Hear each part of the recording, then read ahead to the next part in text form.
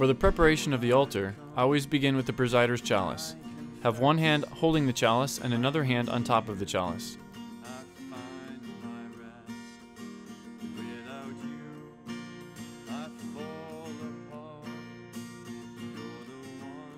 Secondly, the book bearer goes to get the book, and someone else gets the book stand, and they bring them to the altar.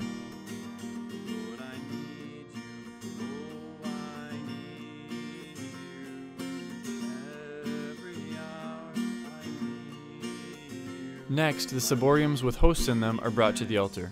If there are any ciboriums on the credence table that do not have hosts in them, they do not get brought to the altar at this time. Next, the tray with the chalices on them is brought to the altar.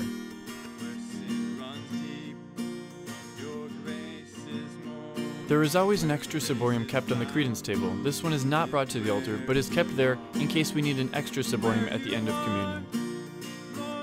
Now we'll run through setting the entire altar.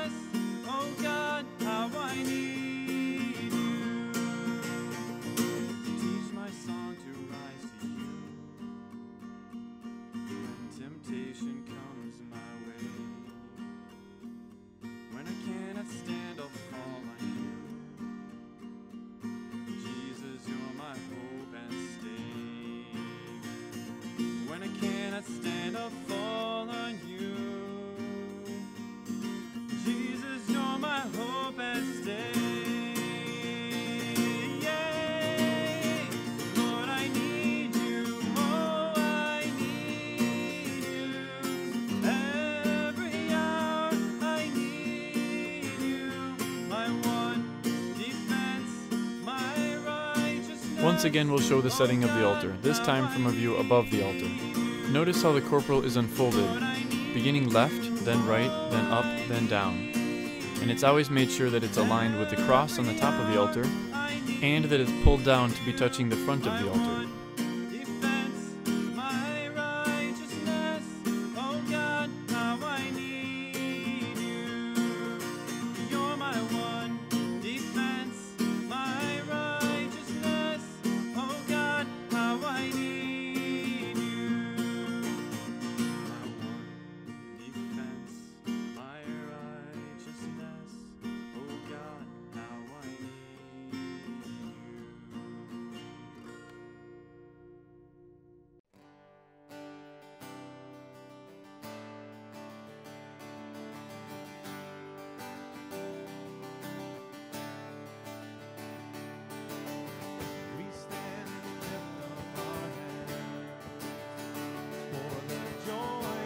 When the petitions are done, the priest will begin the children's collection with the basket under his chair. Meanwhile, one of the servers takes the collection basket and places it in front next to the priest.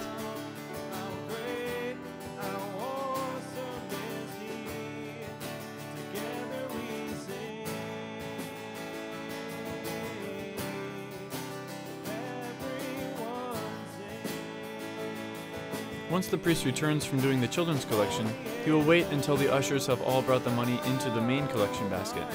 Then he will go down to receive the gifts. One server should go and pick up the main collection basket and put it back on the stool. Meanwhile, two servers should go with the priest to receive the gifts.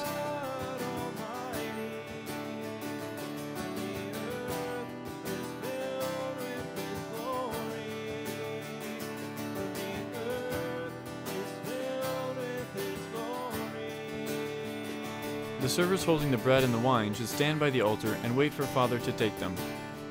Meanwhile, another server gets the water from the credence table and comes and stands by the server holding the wine.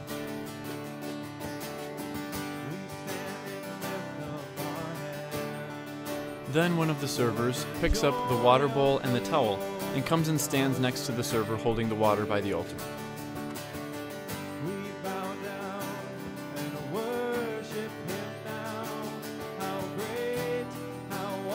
When the Holy, Holy, Holy begins, the servers all move to their places. The server doing the bells goes into the sacristy.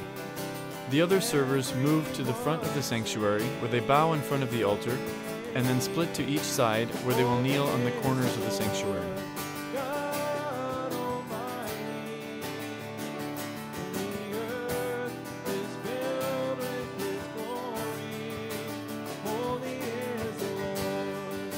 After the great Amen, the servers come back to the middle, bow, and then return to the sanctuary.